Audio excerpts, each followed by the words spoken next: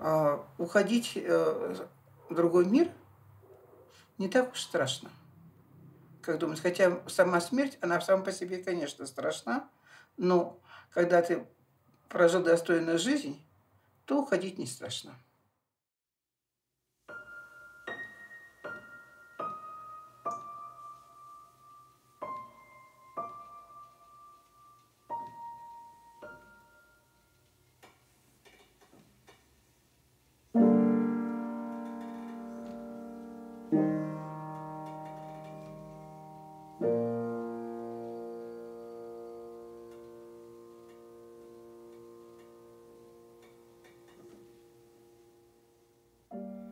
Я считаю, что я не напрасно прожила свое время. Достойно воспитать своих детей и внуков – это большая удача.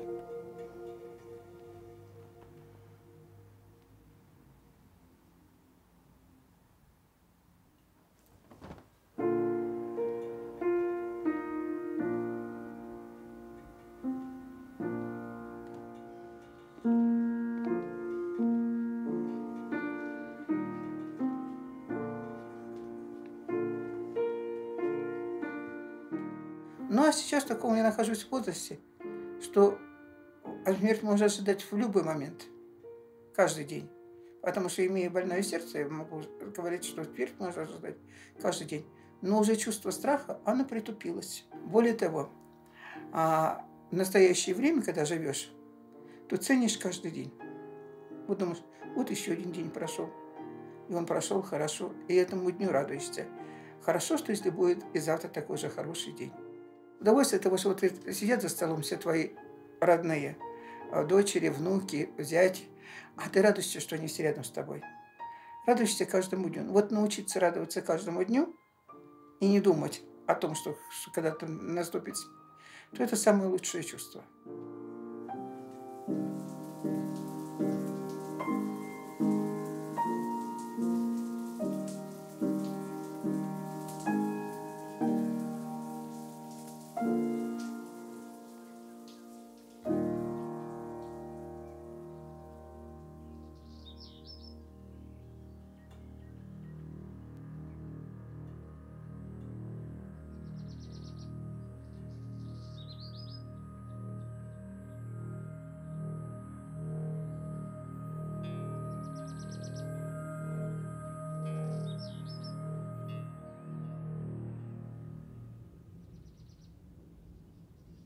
Мы все сталкиваемся со смертью. Только к одному сознанию смерти придет раньше, другим позже. Вот первое сознание смерти мое произошло, когда мне было лет шесть.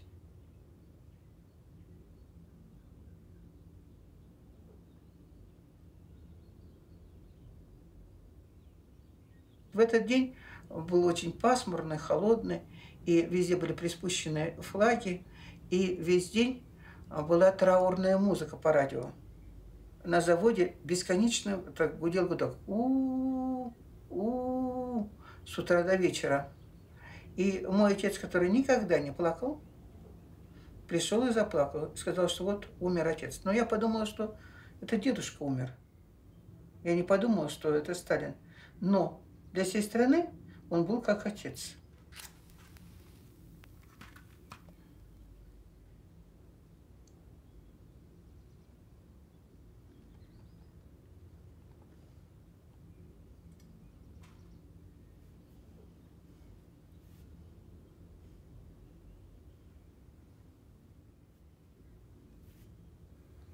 Поэтому как бы мне в душу закрылся такой страх и печаль, что кто-то может умереть из близких. С той поры я действительно боялась кого-то потерять. И сама боялась смерти. Мне казалось, что смерть где-то рядом. Тогда все говорили, только бы не война.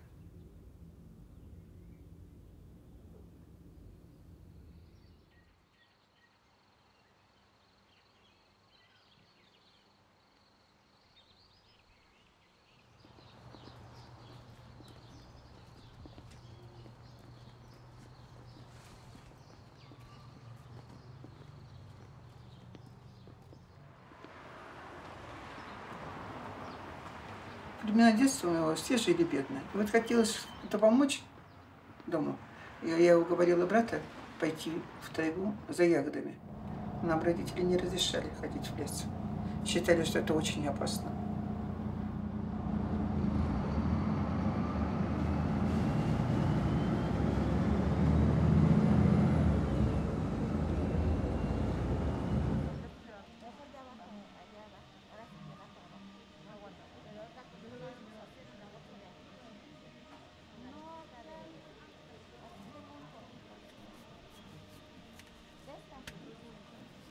Ну, я уговорила брата. Мне было лет 12, брату лет 8. И мне казалось, ну что такое, сходим и наберем ягод. И чем мы дальше мы углублялись в лес, тем становилось опасней. Когда мы так повернулись со всех сторон, а уже ничего нет. Уже нет того места, где мы откуда пришли, уже кругом были только огромные деревья.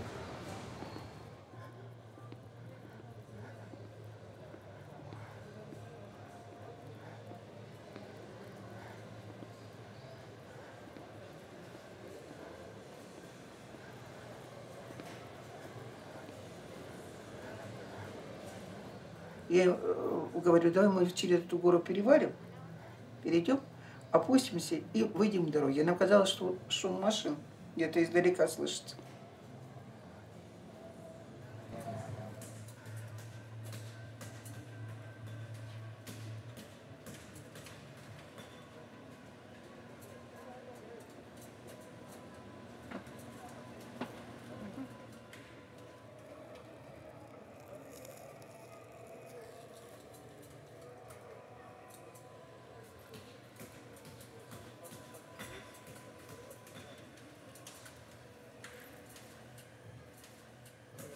Gracias, señor. Угу. Так, теперь что? Что мы делали? Мы шли, шли, шли. Мы шли 6 часов, но мой брат уже не мог идти. А я чувствовала ответственность за него. Queso Oaxaca? Cuatro.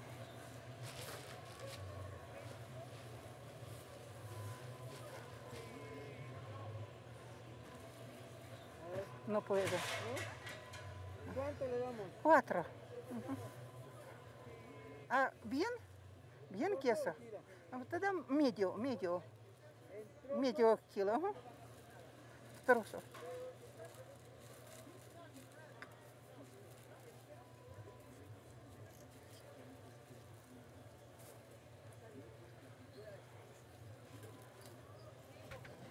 В конце концов, мы только к вечеру вышли на дорогу. Дорога раздваивалась и не знала, куда идти. Или в эту сторону, или в эту сторону. И я все-таки выбрала налево пойти. И это было правильное решение.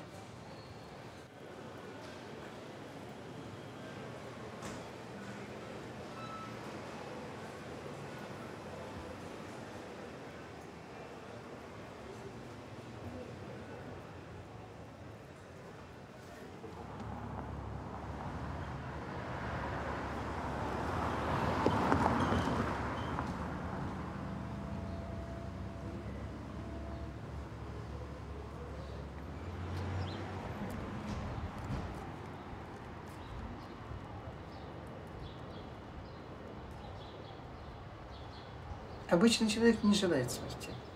Но бывает иногда случаи, когда люди желают смерти. Это когда тяжело больные. Чаще всего это бывает, когда они уже устали от жизни. Вот такое происходило с моей матерью.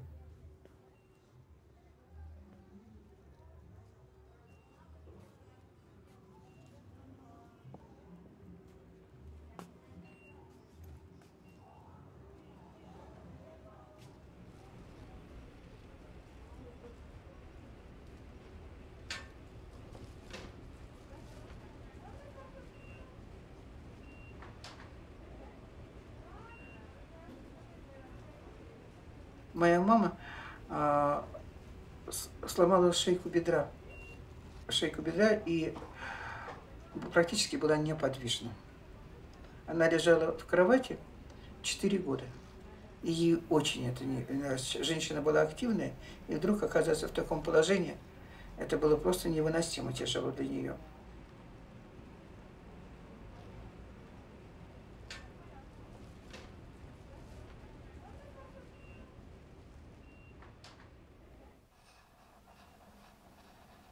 И вот э, купила нитки, ткани.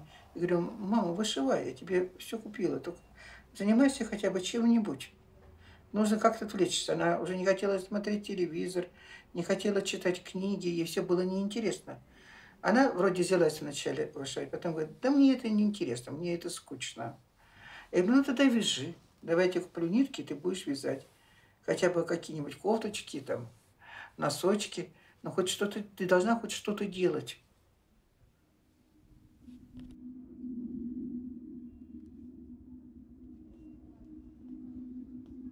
Ну и это ее не интересовало. Она только говорила, ой, как жалко, что не существует эвтаназии. Она хотела смерти, она ждала ее. И когда этот момент наступил, я присутствовала при ней, она даже была этому рада. У нее был сердечный приступ, и она не хотела. Хотя я вызвала врача, она говорила, не хочу, не хочу жить, оставьте меня в покое.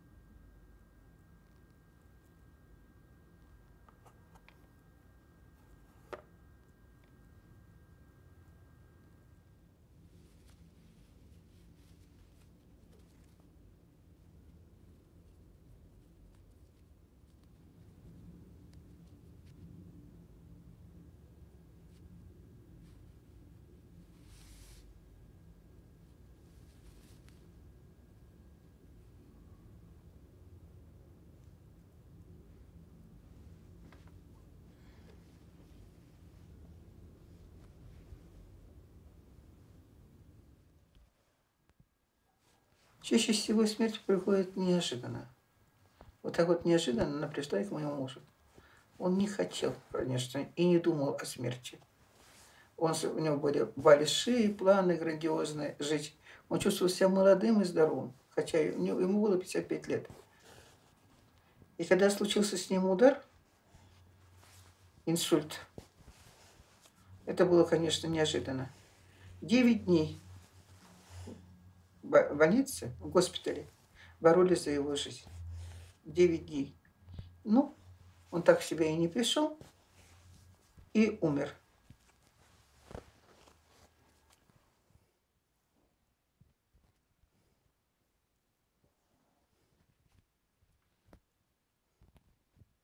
Для нашей семьи это тоже было большим ударом. И для меня. Потому что, ну, конечно, не, не думали и не хотели этой смерти, не желали. После этого снился часто. И как-то у меня пропало желание у самой, самой жить. Вот бывает такое. Желание пропало жизнь. Жить. И вот как-то приходит мне во сне женщина и говорит, что ты этой осенью умрешь. И я не восприняла это трагически и как-то так поразительно. Ну, умру, так умру. Я так еще договорила с своей сестрой, чтобы она не забывала про мою дочь младшую, которая останется, старшие уже разъехались.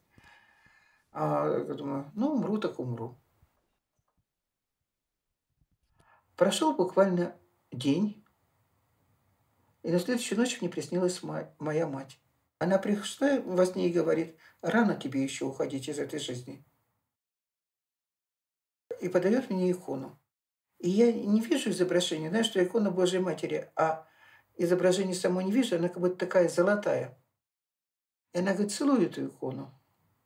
Я целую икону, из нее выходит луч, и прямо мне ударяет в сердце. Как будто так пронзает сердце такая боль. И я проснулась. Проходит день, и я начинаю заниматься домашними делами, и вдруг у меня из носа пошла кровь. И не просто кровь, а сгустки черные. Как бы такое, такое чувство, что это уже застоявшаяся кровь. А ночью снова, вечером снова пошла кровь. У меня уже увезли в больницу. И произошло кровоизлияние, только не произошло не в голову, как, наверное, предполагалось, а вышло все это наружу. И Действительно, мне стало намного легче. Я стала чувствовать себя хорошо. До этого мне постоянно болела голова. Я действительно думала, что я умру. Стала чувствовать себя хорошо. И звонит моя дочь и говорит, мама, приезжай, ты нам очень нужна. Ты очень нужна, потому что у Иры уже двое детей, и она учится в аспирантуре, а Наташа должна была родить девочку. Ей не хотелось терять работу. И вот прошло после этого полгода, и я собралась и улетела в Мексику. И у меня изменилась полностью жизнь. То есть, как бы я для той жизни, для того времени, я умерла. То есть я уже не стала жить прежней жизнью, а как бы для новой жизни я возродилась. И эта новая жизнь принесла мне очень приятные моменты, то, что я растила своих внуков.